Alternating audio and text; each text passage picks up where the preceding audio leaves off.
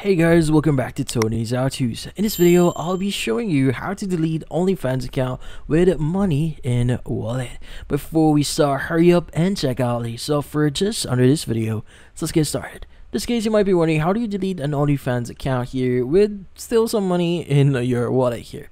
Well the thing is you can actually delete your OnlyFans account or even though you still have some funds in your wallet. But then again it's ideal that you uh, have your wallet or you don't have any funds on your wallet here. But again still you can delete your account if you want to. So at the left side here you want to go to your OnlyFans account you want to click on more and from here you want to go to your settings.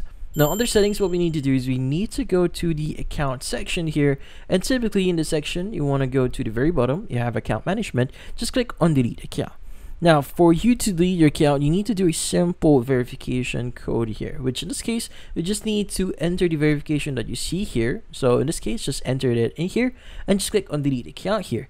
Now, by the way, if you're going to do this, this process is permanent. So if you really want to delete your account, go ahead. But if you delete your account, you won't be able to use it again. So in this case, all information in your account here will be permanently deleted and you will never be able to exit it again.